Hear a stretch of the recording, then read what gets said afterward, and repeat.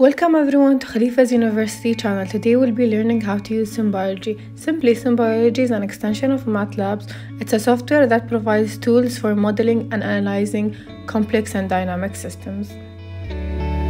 But why do we use SimBiology in the first place? As you all know, Conducting research costs a fortune, so it's essential to run few simulations on your model to recognize its mistake and hopefully develop it. Despite whether you want to execute real research, SimBiology is always available. Examples on models that can be made using SimBiologies are predicting the efficiencies of drugs and its safety and also defining an optimal dosage schedule. SimBiology is available for all KU students at a free cost as it's linked to their MATLAB account. However, this video is specific for KU students that are pursuing a biomedical engineering degree where they are required in their junior year to develop a SimBiology model for the human physiology and modeling class.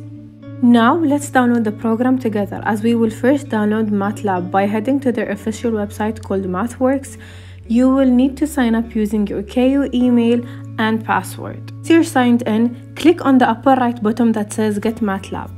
After clicking Install MATLAB, choose the appropriate software for your computer and start the downloading process. You will immediately notice the program downloading on the bottom left of the screen. Once the download is complete, click on the lower left tab and a window will pop up to undergo further installation of the program.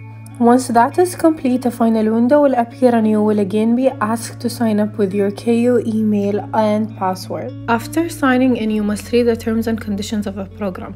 Click yes to agree with the terms of the program, then click next. Before we proceed, if you're still facing issues with setting up your account and you're not able to log into MATLAB, I will attach a link for this PDF that contains a detailed step-by-step -step explanation on how to set up your MATLAB account. Let's head back to our installation process. Click on the MATLAB icon in your taskbar and make sure that you click SimBiology from the available options. If you're clicking on SimBiology, make sure to select the option for displaying MATLAB on your desktop. Click Next for the final time and wait for the last installation to take place. Click Close and once the program is downloaded, you will see the program on your desktop. Click on the program and let's start learning how to use it together. The first step is to open SimBiology by clicking on the upper left corner on Apps. We click on SimBiology and wait for a new window to open. Start on the upper left corner on Model and we will select Create a new model. I will name mine Sugar and Blood.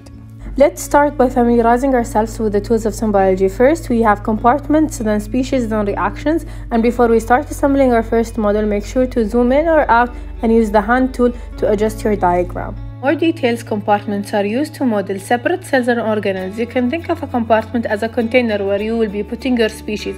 Most importantly, each model must include at least one compartment and all of your species must be assigned to a specific compartment. As you saw earlier, once we opened SimBiology, there was a compartment available by default. Moving on to species. Species are used to represent chemical compounds that will participate in a reaction. Species can be things like DNA, glucose, or even proteins. Let's apply what we've learned so far and start building our first model. I will start by naming my compartment. Since I'm talking about sugar and blood, my first compartment will be the bloodstream.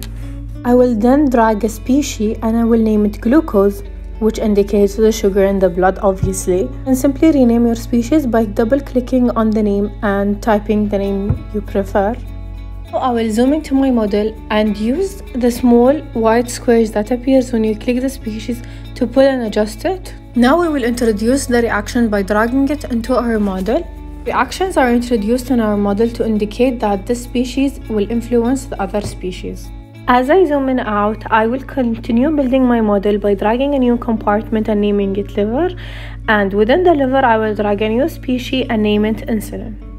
Now we will indicate that there is a reaction by clicking control on our keyboard and clicking on the uh, reaction icon and dragging a line from the reaction to insulin. We will follow the same steps to connect glucose and the reaction to indicate that they have an influence on each other. The same table on the left now we can manipulate the values for our species. For example, I can increase the value of glucose then increase the value of insulin and see how they influence each other. Simply that was it for building our first model using SimBiology. Stay tuned for part 2 where I will show you how to use the model analyzer and SimBiology and help you build more complex models. Using the SimBiology model analyzer we can run few simulations on our model to test it. Additionally we can retrieve data in the form of graphs which indicates the impact that one species has on the other species. In this case, after running the simulation, we can tell from the graph that the species have no impact on each other, since it's in equilibrium. Before we end our video, don't forget to save your model from the upper left corner. Click save and save your project in the preferred name so that when we use the model analyzer on next video, you can immediately uh, open your model by clicking on open then open folder on the upper left corner of the screen. With that we've came towards the end of our video. I hope you've acquired a new skill of using SimBiology and are excited to learn more about this program. Despite whether you're a biomedical engineering student or not remember to stay curious